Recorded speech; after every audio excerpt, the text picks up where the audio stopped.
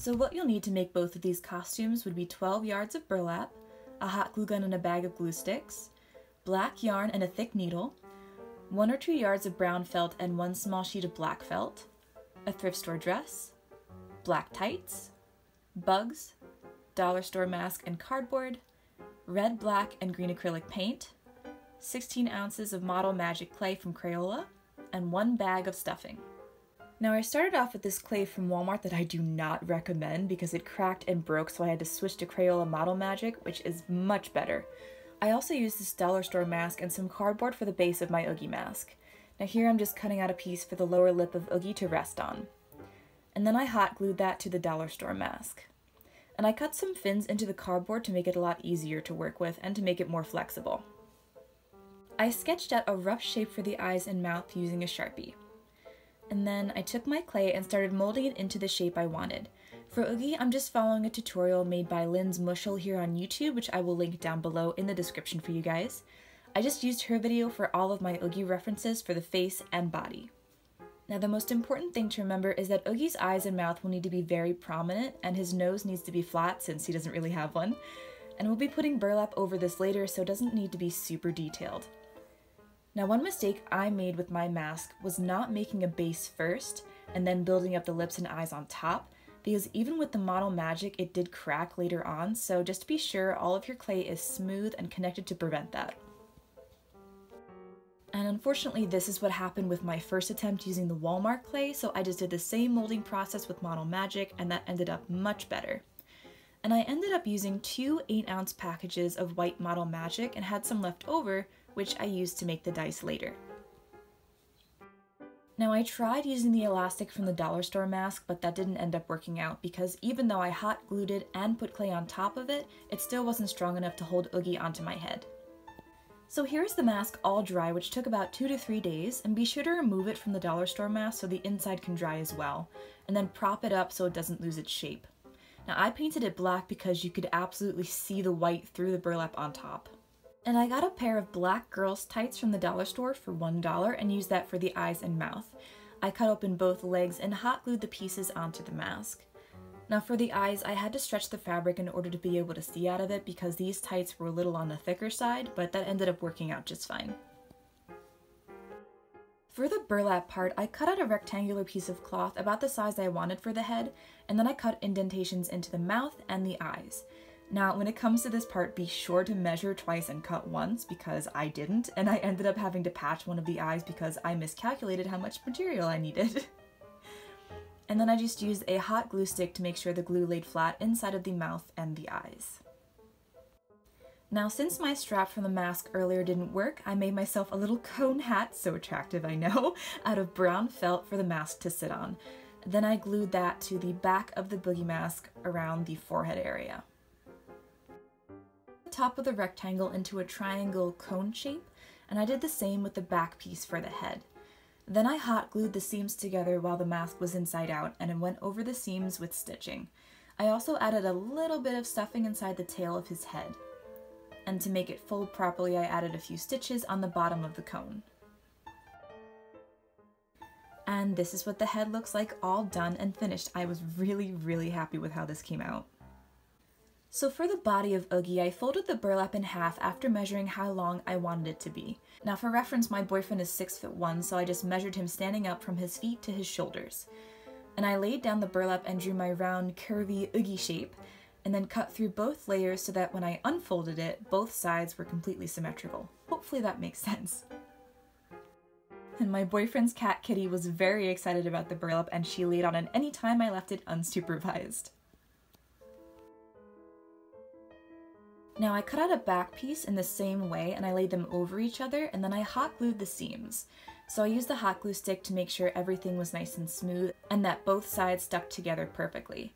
Then I flipped it right side out just like when you do when you're sewing and I pinned and glued the bottom seam as well, with some help from Kitty. For the arms and legs, I had my boyfriend sit on the burlap on the floor and I sketched around the length and width of his limbs. These are the arms, and remember you're going to need a front and back part for each one, so I have four here. Now for the hands, I included a little opening for his hands to come through so he'd be able to use his hands without having to take off the entire costume. And for the feet, I did the exact same thing, minus the hand opening, obviously. And then I glued the arms onto the costume and got out my brown felt to make some pockets to add some stuffing. Now the stuffing will add some weight to the bottom of the costume and make it more of that chunky, oogie shape. I cut out two pieces, one for each side of the costume, and then I cut out some pieces for the neck area as well, since burlap is very itchy and very scratchy. This needle that I used was perfect for this since it's very big and sturdy and it was able to go through all the layers of burlap with no issue. And for the stitching, I just used black yarn. I went up the sides of the costume along all of the seams and I alternated regular straight stitches and cross stitches. You could just cut stitches out of black felt if you don't want to sew, but I found this to be much easier, faster, and it also helped hold the costume together.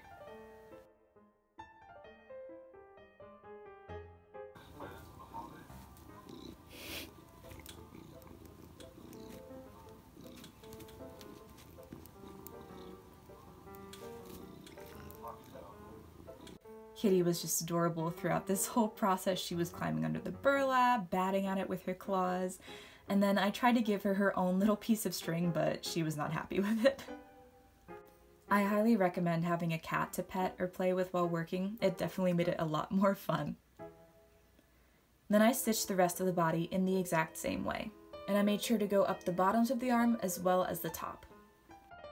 Then I glued the pouches to the inside of both sides of the body, leaving the tops open so I could stuff them and remove the stuffing later. Then I took the rest of my bag of stuffing and just put it in both sides of the costume, putting more in the front than in the back. And then after the stuffing was all in, I turned it right side out and tried it on.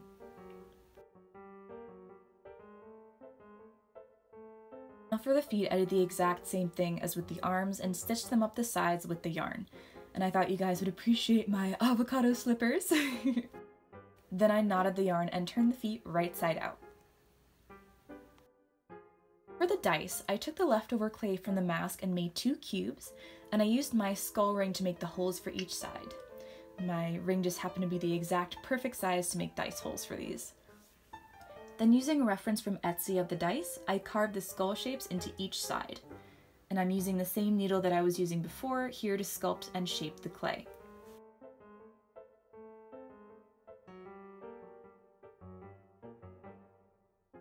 And for the paint, I mixed black and red as a base color for the dice, and then I put black in later in all the cracks and crevices and the dice holes, and then I highlighted everything using red.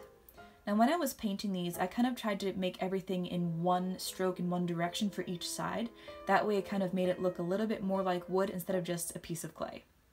Now for Mrs. Oogie, I used this mannequin form to fill out the dress so I could work on it. And this is what the dress looked like before, just a plain black dress from Charlotte Russe that I found at Goodwill. And I took a strip of burlap for the collar first to see how stretchy it would be and how it would mold to the fabric just as a test. Spoiler alert, burlap is not very stretchy. And this is what the dress looked like before. I just wanted to try it on to give you guys an idea of what it looked like. And all of the top parts of my dress were actually made from scraps from the Oogie Boogie costume, which is why I made that first. That way I didn't waste any burlap and I was able to get more out of it. Full disclaimer here, I do not know how to sew or make any kind of clothing, so I did not know what I was doing for my costume, since I wasn't really following a tutorial, just a few photos for inspiration. So I just kind of spun it around and pinned different pieces on until I was happy with it. But these are what the main pieces of the bodice ended up looking like, and once they were pinned on, I drew little pointy shapes on top of that that I cut out and then mirrored using black felt. And I used that just to make it stand out a little bit more from the original dress. We're getting some stuff done. What do you think of my dress so far? And my parakeet Alice helped me as well. She is just so stinking cute. I had to show you guys a few clips of her. She's adorable. So this is what I had come up with for the shape, but when I asked my best friend and boyfriend what they thought, they both agreed that the black in the middle of the front of the bodice just looked like nipple windows, so I scrapped that idea. Using the same black yarn as earlier, I stitched my bodice pieces on, and to get rid of the nipple windows, I just took another piece of scrap burlap and pinned it in place. And then I sewed that underneath my original design.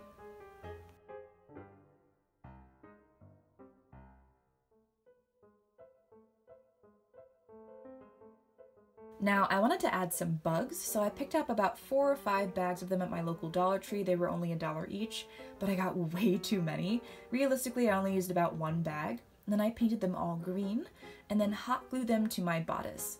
And this is what the final looked like. I was really, really happy with how the green looked against the black and the burlap on the dress. And I also ended up cutting off the bottom pieces of burlap because I decided to use a corset for the middle of my costume so nothing would be seen there anyway. Now for the skirt, I wrapped one layer of burlap right around me and I pinned and cut it to fit. It's a bit hard to see here, but the pins are in one straight line up the back of the skirt. And I pinned it to my shape while wearing the burlap. Then following the pins, I stitched up the side and added some velcro for the closure at the top. Then I sewed and pinned it inside out, then turned it right side out so the stitches didn't show in the back and it made a nice seam just like you would when you're sewing with regular thread. For the pleats on the bottom, I used a kind of accordion pleat, folding one layer of the burlap over itself, trying to make sure all the pleats were the exact same size. Then I clothespins them together and I used four pieces to make the skirt. Each piece was one layer of burlap, so I laid out one long strip that was folded over and cut it down the middle, leaving me with two identical pieces. Each one was one piece of the skirt. Hopefully that makes sense.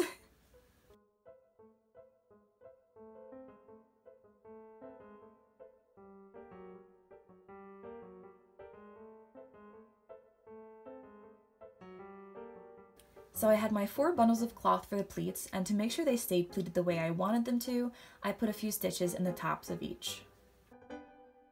And I'm cursing myself here for not being in frame, but I essentially just took each bundle of pleats, stuffed the pleat up under my skirt while wearing it, arranged them how I wanted, and then sewed them directly onto the skirt while wearing it, as you see here.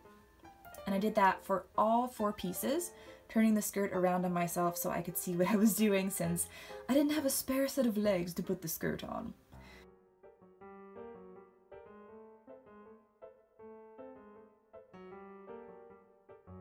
And this is how it came out. I am super happy with it since I've never made anything like this before. I've never made a dress, I've never made a skirt, nothing. And I also ended up adding some stitching up the middle of the skirt because it just felt too plain to me.